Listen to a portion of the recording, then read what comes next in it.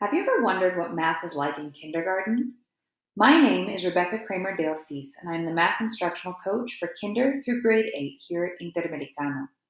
In this webinar, you will learn what your child is learning, how they are learning, and why we teach math the way we do here at Inter.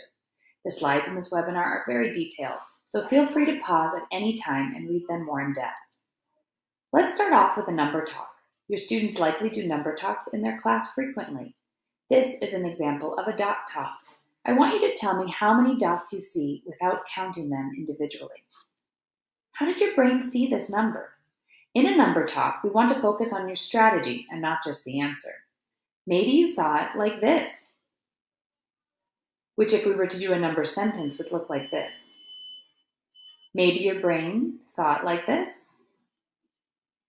Maybe you saw it like this.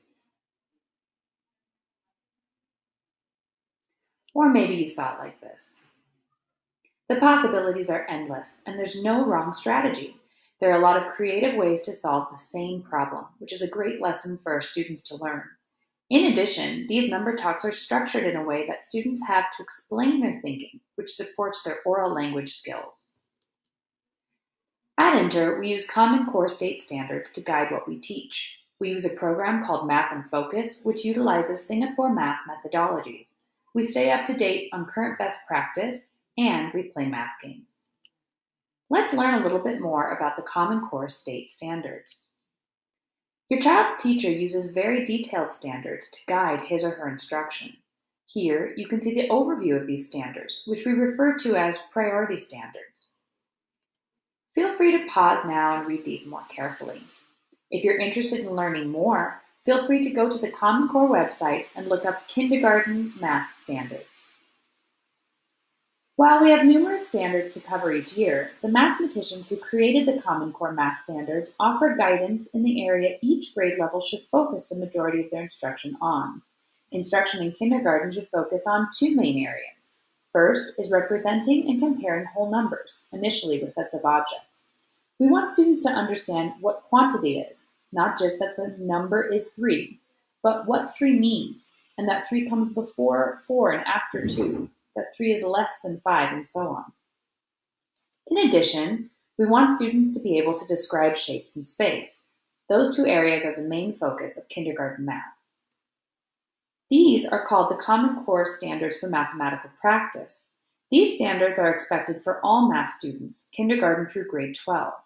These standards emphasize important practices and mindsets about math, which align well to what current brain research on math instruction is encouraging. A different way to look at them is to read them as I can statements. At Inter, we use Math in Focus utilizing Singapore math methodologies. Singapore math is a methodology which integrates established international research into a highly effective teaching approach. The heart of this methodology is problem solving as offering context to math concepts is key to a deeper understanding. Singapore Math builds conceptual understanding and positive attitudes toward math. It develops critical thinking skills and advanced problem solving proficiency. The focus is on place value and number sense. These are key concepts that form the foundation for all math we do now and in the future. These skills lead to greater mental math abilities and reasoning. An easy way for you to encourage this at home is to ask, is your answer reasonable? Or how do you know you're correct? We need to expose our students to more than one method when teaching math. Many of us learned that math was a set of rules that needed to be followed. And if we didn't follow the rule, we felt that we weren't good at math. The focus when we're teaching math now is to offer, explore, and invite multiple approaches, which encourages creativity and flexibility with numbers. We want our students to understand why we do what we do, not just how to do it. We teach math concepts using CPA, concrete, pictorial, abstract. Here's an example of CPA. The concrete part is the part students are actually touching with their hands. So I wouldn't be putting pictures of apples. I would put actual apples out for them to see this concrete concept. Next comes pictorial. This is a 10 frame to show the same thing. Lastly comes abstract, where we use numerals and operations. Our brain lights up in five different areas while we're doing math. Two of these are visual. Because of this, we have some very useful pictorial models that we consistently use in our program. 10 frames are introduced in pre-K and kinder and used up until grade 2.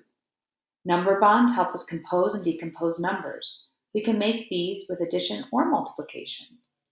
Bar models are introduced in grade 2 as a way to visually represent math, the math we're exploring, primarily with word problems. These are very important first step toward algebraic understanding. Here are some examples of how you could use these tools. At Inter, we stay up to date in current best practice in math instruction. YouCubed is a wonderful website created by Jo Boaler, a Stanford University professor.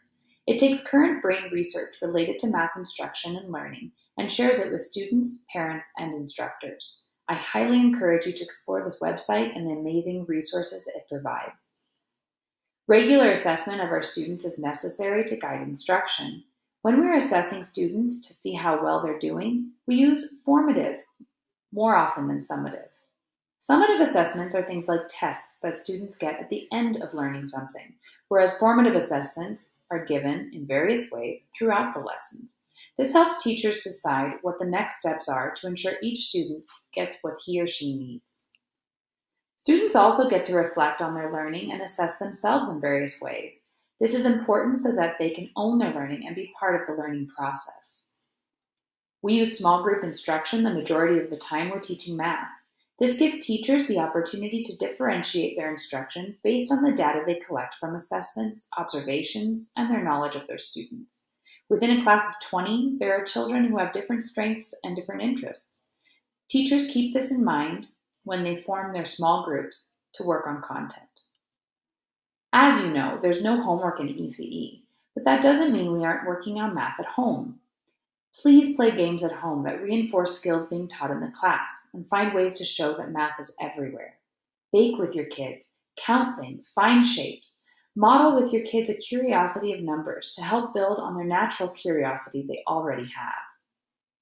At Inter, we play lots of math games. Here's a list of some of our favorites in Kinder. Not sure where to find the games? Google them. All you have to do is type math games for kindergarten and you'll find amazing resources. Usually, a set of dice and a stack of cards is all you need to play some wonderful games that will reinforce math skills while at the same time having fun with your family. Your child is an amazing resource as well. Ask him or her what games are being played in the classroom. I hope this webinar was useful and you feel more informed about the math your child will be exposed to this year. If you have any questions, feel free to contact me or your child's teacher. Thank you and have a lovely day.